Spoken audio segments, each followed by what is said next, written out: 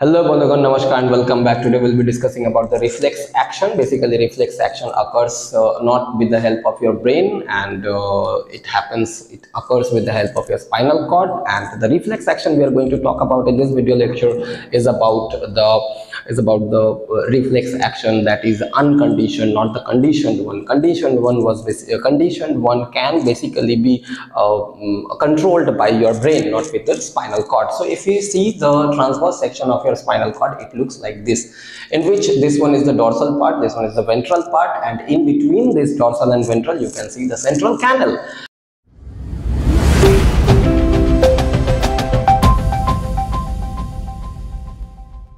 And after just after the central canal you have you are going to see this dotted structure. This one is the gray matter part of your spinal cord and this one is the white matter part which is clear.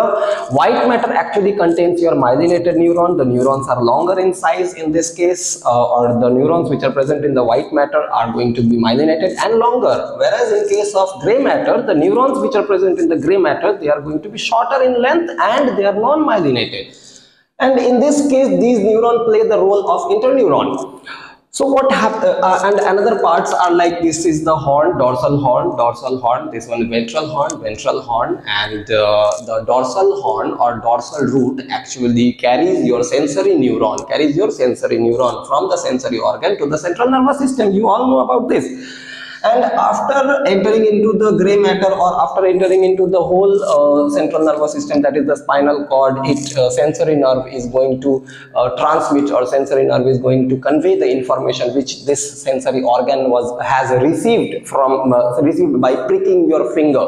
And uh, it is going to send the signal to the interneuron. Interneuron will send the signal to the motor neuron. Motor neuron will come into action and it will uh, innervate the effector organ effector organ might be your uh, biceps or effector organ might be your muscles in the forearm so that you can pull your hand back so this is all happens in the reflex action. One thing more i want to say that this one the sensory organ has a dorsal root ganglion present in this case which acts as a relay station or it can amplify the amplitude it can amplify the uh, amplify the impulse that was received from the sensory organ that that can be uh, favorable for transmitting or that can be favorable for conveying all the information throughout. So Thank you very much. Uh, see you in the next video.